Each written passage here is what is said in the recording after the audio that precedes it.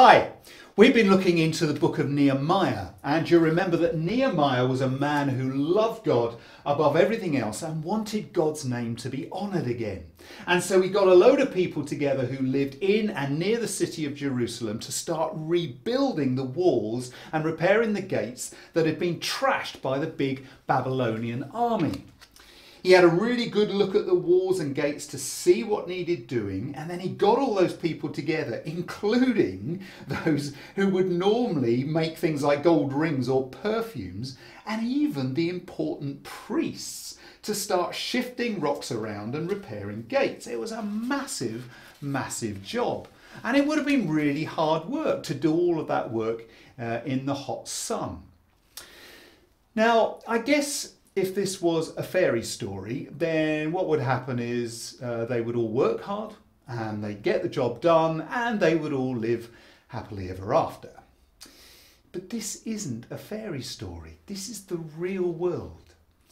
And here in the real world, whenever God's people work to serve the Lord God and bring honour to His name, there are other people who don't like it.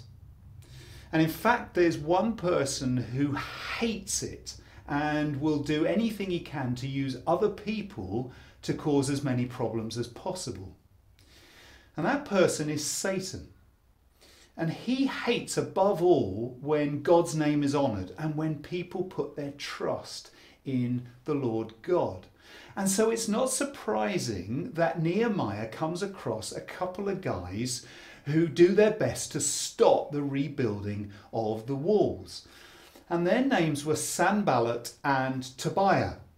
And Satan was using both of them to do his work. Sanballat and Tobiah were important, powerful politicians who were selfishly interested in becoming even more important and even more powerful. They were interested in themselves, not in bringing any honour to God.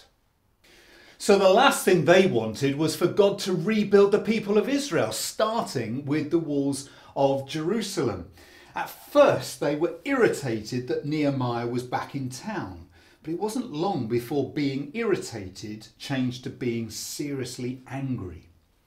And they did two big things to try and stop the people from bringing honour to God. The first was that they laughed at them.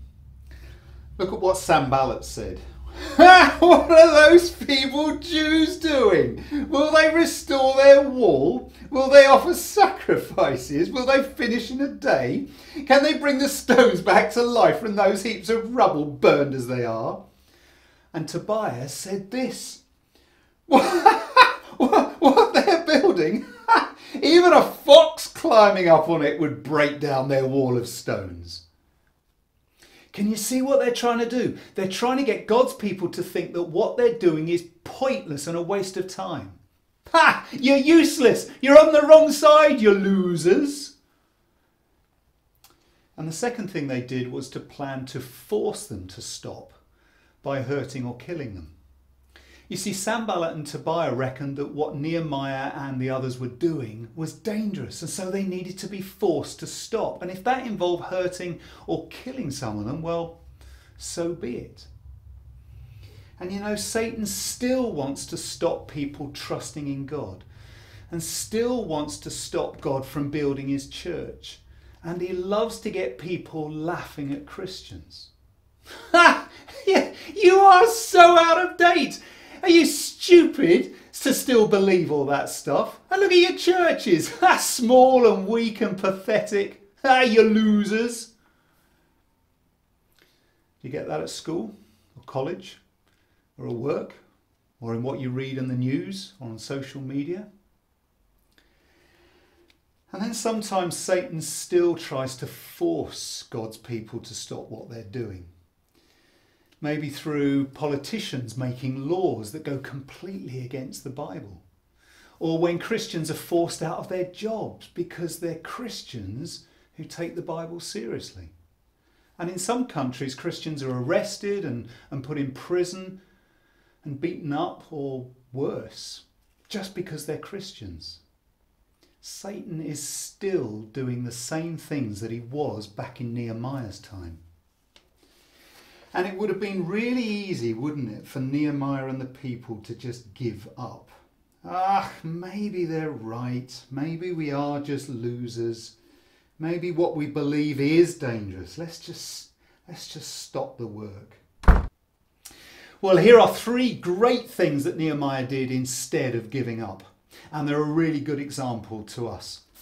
It won't surprise you that the first thing he did was he prayed and he asked God to stop what Sanballat and Tobiah were doing.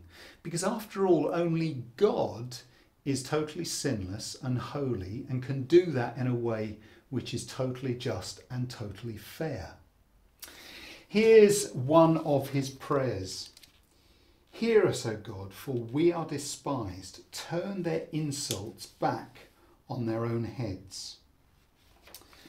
And then Nehemiah trusted God and did what he could. And he did some very wise things.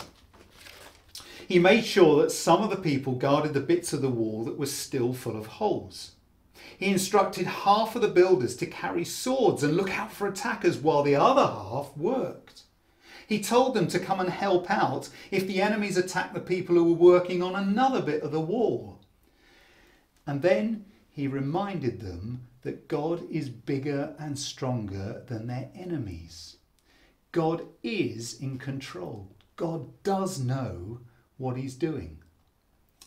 Look at this. Don't be afraid of them. Remember the Lord, who is great and awesome. Fight for your families, your sons and your daughters, your wives and your homes. So, once again, Nehemiah is a great example to us for when Satan attacks us, either when people laugh at us or when they plan to force us to stop our work for the Lord God. We may, at the moment, not need to stand guard against people attacking us, but let's follow Nehemiah's example of praying for God's protection, of being wise as we work for God's honour and to remember that God has already defeated Satan at the cross and is in control. Let's pray. Father God, we pray for our brothers and sisters who are attacked for being Christians. Protect them and strengthen them to keep serving you. And Father, give us your wisdom as we work for your honour. Thank you that you are in control and we can trust you. In Jesus' name, Amen.